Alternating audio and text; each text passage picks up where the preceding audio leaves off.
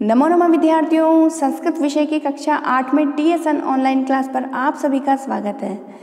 विद्यार्थियों previous video में हमने रुचिरा तृतीय भाग है, जो आप लोगों की संस्कृत विषय की पाठ्य पुस्तक है बच्चों उसका जो चैप्टर ट्वेल्व है कह रक्षति कह रक्षित है। इस पाठ का बच्चों, हमने कुछ भाग हिंदी अनुवाद कर रहे थे हम और आज की कक्षा में बच्चों, हम उसी शेष भाग को कंटिन्यू करेंगे बच्चों। चलते हैं पेज नंबर 86 पर बच्चों। पेज नंबर 86 पर देखिए बच्चों। लास्ट सेकंड पैराग्राफ में विनय जो बोल रहा है और ये जो पिक्चर बनी हुई है बच्चों वो भी देख लेते हैं हम। ये जो पिक्चर बनी हुई है उसे देखिए बच्चों। एक महिला अपने घर के कॉर्नर पे देखो आकर के ऊपर से क्या कर रही है डस्टबिन में से कचरा बाहर सड़क पर फेंकती हुई दिखाई दे रही है। और बच्चे अपने आप को थोड़ा सा आ, उनको देख भी रहे हैं और साथ में बच भी रहे हैं कि कहीं हमारे ऊपर कचरा ना आ जाए। ठीक है ना बच्चों? तो ये गलत बात है। वैसे भी सीखने लायक बात है कि हमको हमेशा कचरा, घर में तो हम कचरा इधर उधर नहीं फैलाते हैं। हमारा सारा कचरा हम डस्टबिन में कलेक्ट करते हैं। घर को साफ़ सुथरा रखते हैं। लेकिन फिर अपना घर तो वो साफ़ कर रही है, लेकिन बाकी जो कचरा है वो सड़क को, बाहर एनवायरनमेंट को वो गंदा कर रही है। ठीक है ना? तो हमको नहीं करना चाहिए कचरा। हमें यत्र तत्र यहाँ वहाँ नहीं डालना चाहिए। जो डस्टबिन होते हैं, बाहर भी जो रखे होते हैं बड़े बड़े डस्टबिन होते हैं हमें, उसी में डालना चाहिए कचरा, ठीक है ना? हमें एनवायरनमेंट को गंदा नहीं करना चाहिए, ठीक है ना? तो हम पढ़ रहे थे बच्चों, विनय जब बोल रहा है, पश्य पश्य, उपरितः इदानीमपि अवकरा मार्गे क्षिप्यते। देखो देखो, ऊपर से इदानीमपि अभी भी अवकरा जो कचरा है वो मार्ग पर, रास्ते में, सड़क पर क्या है? फेंका जा रहा है। आहू ये महोदय बुला करके आहुए मीन्स बुला करके, आह्वान करके, कह के, आवाज़ लगा करके, महोदय, कि हे महोदया, कृपा कुरु मार्गे एतत्तु सर्वथा अशोभनम। कि हे महोदया, मार्ग में घूमने वालों पर क्या करो? कृपा करो। एतत्तु और यह तो सर्वथा, यह तो हमेशा ही कम्प्लीटली वो क्या है? अशोभनम, अशोभनीय है। अशोभनम कृत्यम। ये कृत्य जो है, ये जो आप कर रही हैं, वो बिल्कुल ही अशोभनीय है काम है। अस्मत् सदृशेभ्य बालेभ्य भवती सदृश इव एवं संस्कारा देया। अस्मत् सदृशभ्य हम जैसे बालकों को भवती सदृश आप जैसों के द्वारा ही संस्कार दिया जाना चाहिए। और आप खुद ही गलत करिए वो कहना चाह रहे हैं बच्चे इस तरह से। ठीक है ना? तो रोजलिन वापस क्या बोल रही है? रोजलिन बोल रही है जो महिला है उनका नाम है रोजलिन रोजलिन बोल रही है। आम पुत्र हाँ पुत्र सर्वथा सत्यम वदसी बिल्कुल ही सत्य बोल रहे हो सही बोल रहे हो सच बोल रहे हो। क्षम्यंताम यानी कि क्षमा कीजिए। इदानी मेवा गच्छामी। अब मैं आ, समझ पा रही हूँ। ब्रैकेट में क्या लिखा है? रोजिन आगत्य बालय साकम स्वक्षिप्तम अवकरम मार्गे विकीर्णम अन्य अवकरम चापि संग्रह अवकर कंडोले पात्यति। रोजलिन आगत्य, रोजलिन आकर के वापस रोजलिन अपने घर से बाहर आई है और बालई साकम जो बच्चे थे उनके साथ में स्वक्षिप्तम अवकरम अपने द्वारा भेद भेद फेंके हुए कचरे को, मार्ग में जो उसने कचरा फेंका था उसको और विकीर्णम और अन्य जो कचरा फैला हुआ था उसको भी, चाप यानी उसको भी संग्रह एकत्रित करके वो अवकर कंडोले जो कूड़ेदान है, डस्टबिन है, उसमें वो पात्यती, फेंकती है। Turn the page students page number 87 पर, बालाहा, जो बच्चे हैं, आपस में क्या बोल रहे हैं? एवमेव जागरूकतया एव प्रधानमंत्री महोदयानां स्वच्छता अभी, स्वच्छता अपि अभियानम अपि गतिम प्राप्स्यति। एवमेव जागरूकतया, यानी कि इसी प्रकार की जागरूकता से एव यानी ही, इसी प्रकार की जागरूकता से ही प्रधानमंत्री महोदया नाम प्रधानमंत्री महोदय का स्वच्छता अभियानमपि, स्वच्छता अभियान भी क्या गतिम प्राप्त गति को प्राप्त कर पाएगा। विनय है जो विनय क्या बोल रहा है? पहले ये पिक्चर देख लीजिए बच्चों। ये जो गायें दिख रही है हमें दो गायें दिख रही है और जो कचरा फैला हुआ है उसमें से वो आ, खा रही पी रही हैं। कचरा खा रही कचरे में से वापस खाने के पदार्थ जो होते हैं जो बहुत से लोग होते हैं वो सड़क पर ऐसे ही प्लास्टिक की थैली सही थी सामान फेंक देते हैं कचरा फेंक देते हैं सब्जियों का फलों का आदि का कचरा थैलियों में डाल करके फेंक देते हैं। तो गायों को जब भूख लग रही होती है तो वो ठीक है अब उनको क्या पता, वो केले के छिलके, सब्जियों के छिलके, वो सब खाते खाते साथ में वो जो थैली के अंदर होते हैं, वो थैलियाँ भी वो खा जाती है और थैलियाँ उनके पेट में जाती है, वो डैमेज नहीं होती है और उनके लिए वो नुकसानदायक होती है। ठीक है ना बच्चों? तो यही हो रहा है यहाँ पर कचरे के ढेर में से गाय खाने की चीज़ें ढूंढते हुए, खाना भी जो बचा हुआ है सब्ज़ी फलों के छिलकों को साथ में खाते खाते वो, जो थैलियाँ हैं वो भी उनके पेट में जा रही है। ठीक है ना बच्चों?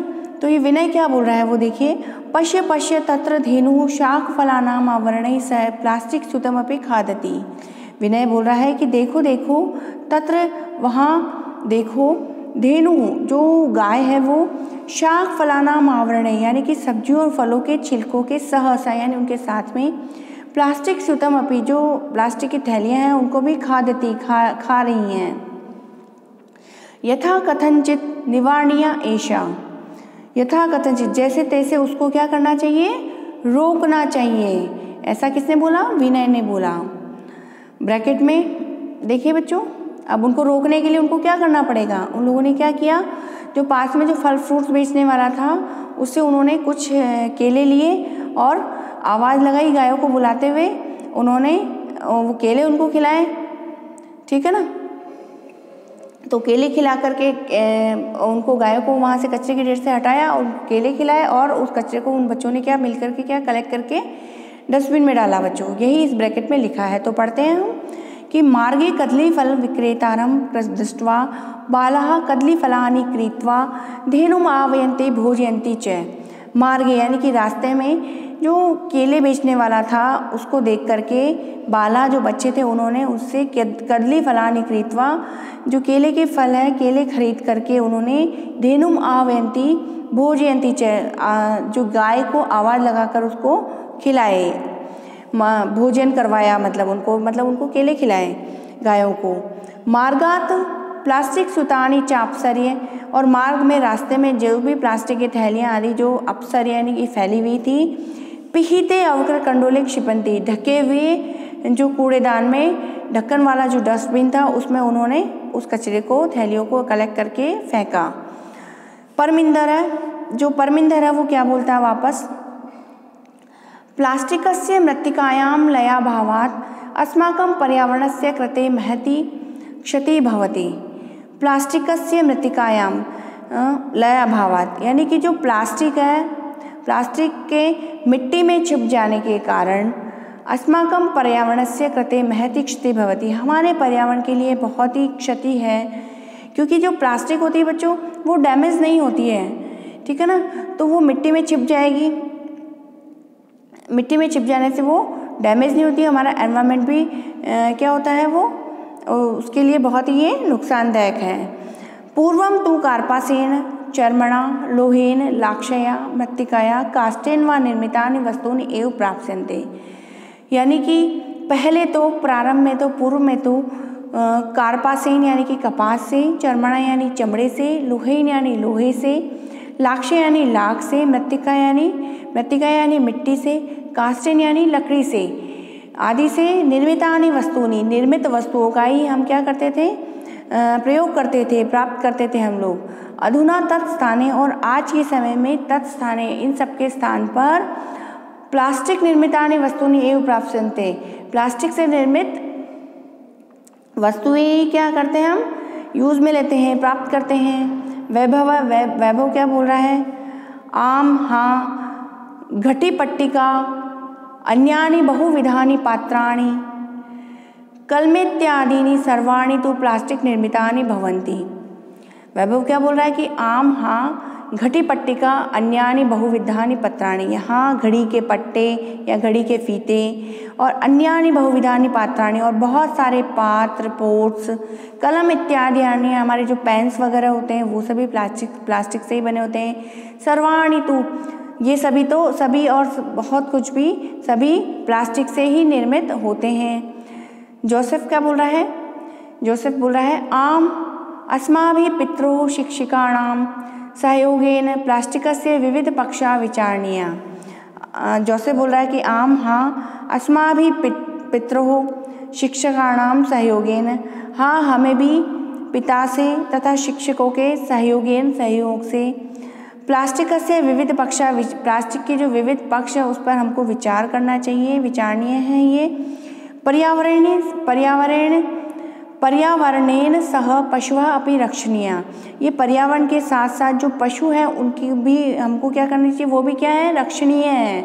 उनकी भी हमको रक्षा करनी चाहिए। जो पशु हैं गाय आदि पशु जो हैं ये प्लास्टिक भी खाने के लालच में जो थैलियाँ होती हैं प्लास्टिक की थैलियाँ वो भी खा जाते हैं तो उन पशुओं की भी हमको रक्षा करनी चाहिए ऐसा हमको आ, सोचना चाहिए और हमारे पर्यावरण के लिए भी हमको सोचना चाहिए। जो प्लास्टिक की क्या है? नुकसानदायक है। ब्रैकेट में देखते क्या लिखा है? एवं एवावलप आलपंत सर्वे नदी तीरम प्राप्त। और इस प्रकार से आपस में बातचीत करते करते सभी यानी कि वो सभी मित्र जो थे वो नदी तीरम प्राप्त नदी के तीर पर नदी के तट पर पहुँच गए हैं। नदी जले निमज्जिता भवंती गायंती च और नदी के जल में निमज्जित स्नान करते हुए वो आ, क्या करते हैं? गा, गायन करते हैं और गाते हैं। क्या गाते हैं? उन्होंने श्लोक गाया है। देखिए बच्चों, बच्चे आराम से नदी के तट पर पहुँच गए हैं। गर्मी से परेशान होते हुए, रास्ते में चलते हुए, पर्यावरण के विषय में भी चर्चा करते हुए चलते हैं। ठीक है? और पर्यावरण से संबंधित ही उन्होंने एक श्लोक भी गाया है यहाँ पर। ठीक है? और नदी में बच्चों, देखिए बच्चे आराम से आनंद जल विहार क्रीड़ा भी कर रहे हैं। तो पढ़ते हैं हम इस श्लोक को, क्या बोल रहे हैं बच्चे, क्या गा रहे हैं? सुपर्यावरण नास्ति जगत सुस्थित सखी। जगति जाय माना नाम संभव संभवो भुवि। बच्चे बोल रहे हैं कि सखे सखे मीन्स मित्र। हे सखे, हे मित्र, अच्छे पर्यावरण से ही जगत जगत यानी जो संसार है वो, संसार की अच्छी स्थिति क्या है? संभव है। यानी कि हे मित्र, अच्छे पर्यावरण से ही संसार की सुस्थिति, यानी कि अच्छी स्थिति संभव है और संसार में उत्पन्न लोगों का